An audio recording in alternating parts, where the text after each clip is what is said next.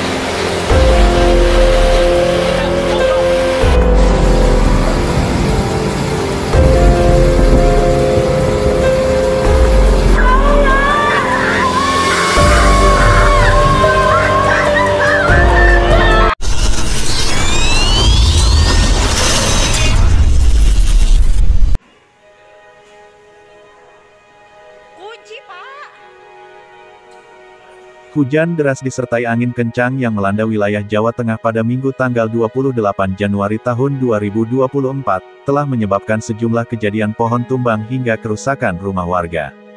Badan Penanggulangan Bencana Daerah BPBD Kabupaten Kudus, mencatat 10 rumah rusak bagian atapnya dan satu pohon tumbang akibat hujan deras yang disertai angin kencang pada Minggu sekitar pukul 9.25 waktu Indonesia Barat.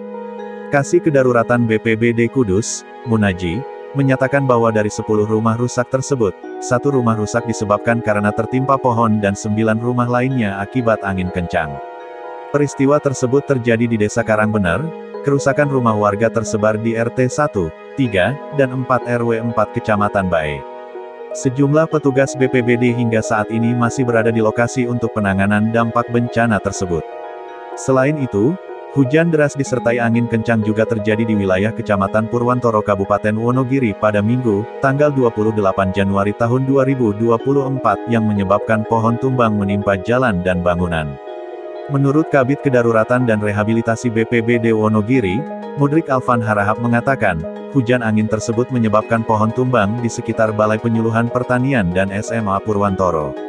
Proses evakuasi dipimpin langsung oleh camat setempat bersama TNI Polri, relawan, dan warga.